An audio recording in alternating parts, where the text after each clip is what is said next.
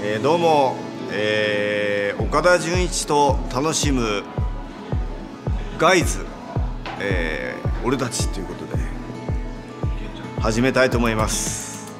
僕とメンバーの距離感がこう分かるように急にこれヒロシがやりだしたんですけど。森田君がヒューって言ってましたからね。あの命らしいですよねあケン君はフォトジェニックなんですよね。特に最後の1年半2年。人間性っていうのかな？人間的な坂本昌行っていうこう。こういうなんか記念写真みたいな。の気に入ってるんですけど。ねあの。終わった瞬間僕らは瞬間っていうか終わってすぐですね。残りががある。